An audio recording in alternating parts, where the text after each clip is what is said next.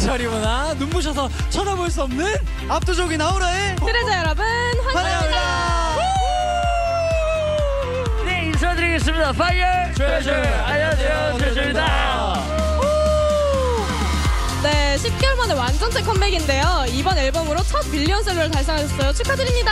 감사합니다. 그리고 트레저 선배님들의 3주년도 축하드립니다.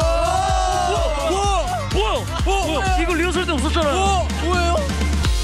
와 감사합니다 하나 둘 셋.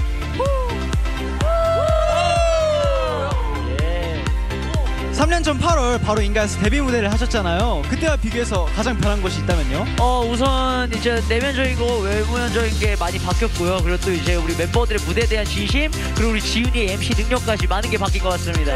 저의 어떤 부분이 바뀌었죠? 여러 가지로다가 이제 멘트도 이제 수월하게 하시고 에, 이제 smooth하게 하시잖아요. 이제 아, smooth하게 예, 그게 너무 좋아요. 아 좋습니다 아, 네. 트레저는 매해 성장하는 모습을 보여주셨는데 개인적으로 이번 신곡에서 강렬한 끌림이 느껴지더라고요. 네 맞습니다. 이번 신곡 노래 이름은 보나보나라는 노래인데요. 어, 뭐, 어, marching band 소리에 맞춰서 저희가 칼군무를 하는데 그게 포인트입니다.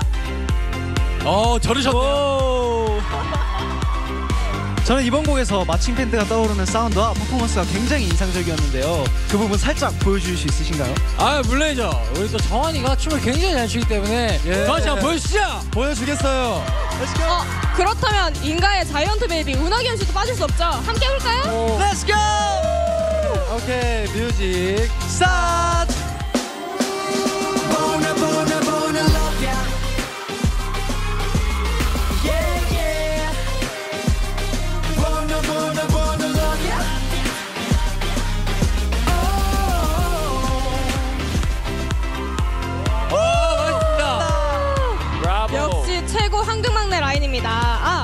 그리고 트레저가 늘 활기 넘치고 시끌벅적해서 트쪽이라고 불린다던데 여름밤을 재밌게 보낼 플랜이 있다면 추천해주세요. 어 저는 시원한 바다에서 비빔냉면 먹고 멤버들이랑 수영도 하고 싶습니다. 어 좋습니다 네 우리 멤버들 무대는 좀만 더 기다려 주시고요 통통 튀는 에너지 하이틴 아이츄린 에너지 완전 무장 패기돌 싸이커스 폼 미쳤다 폼 미쳤다 영탁의 무대까지 music